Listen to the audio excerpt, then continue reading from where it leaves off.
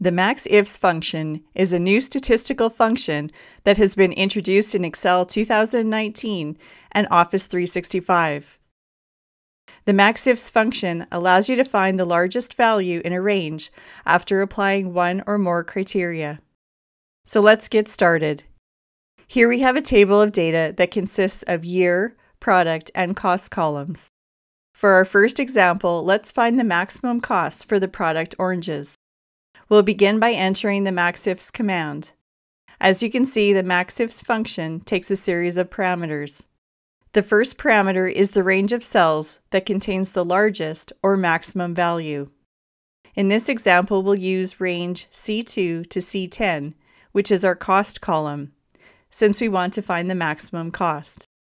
The second parameter is the range of cells to apply your criteria against. In this example, we'll enter the range B2 to B10. This is the range of cells that we'll test to see if they meet our criteria. The third parameter is the criteria that will be applied against the range B2 to B10. In our example, we'll enter oranges in quotes. The maxifs function will test each value in the range B2 to B10 to see if it is the product called oranges.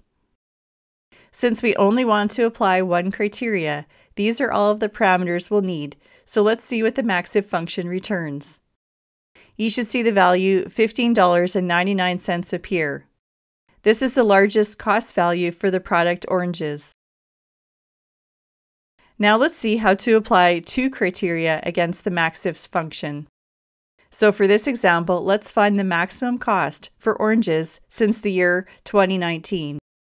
Again, we will enter the maxifs command and start with the same three parameters that we entered in the first example, by entering the range C2 to C10 as the first parameter, B2 to B10 as a second parameter, and oranges in quotes as the third parameter.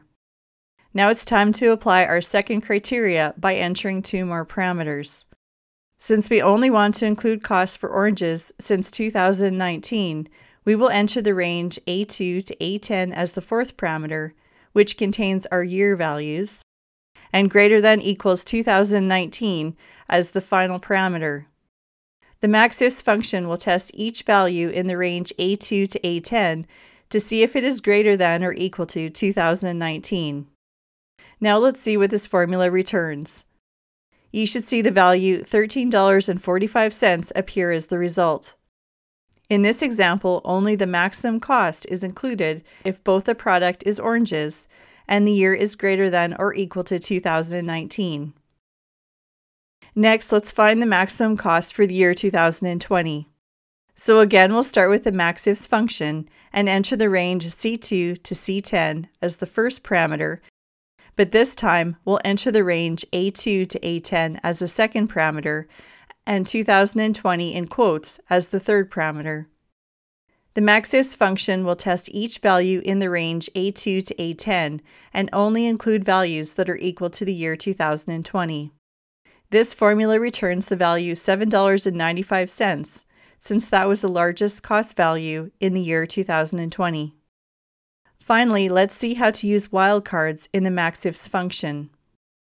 In Excel, there are two different wildcard characters, the asterisk and the question mark. The asterisk character allows you to match any string of any length, whereas the question mark allows you to match only on a single character. Let's use the asterisk wildcard to find the maximum cost of all products that start with the letter A.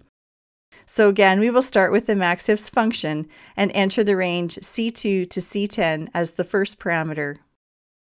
Then we'll enter the range B2 to B10 as the second parameter, which contains our product values. Finally, we'll enter A asterisk in quotes as the third parameter since we are only looking at products that start with the letter A. Now let's see what results we get. You should see $12.50 appear as the result, which is the maximum cost for all products that start with the letter A. So this would include products such as apples and apricots. And that covers our examples of how to use Excel's maxifs function. If you would like to see more examples, or would like to download the sample data we used for this tutorial, please visit our website at techonthenet.com.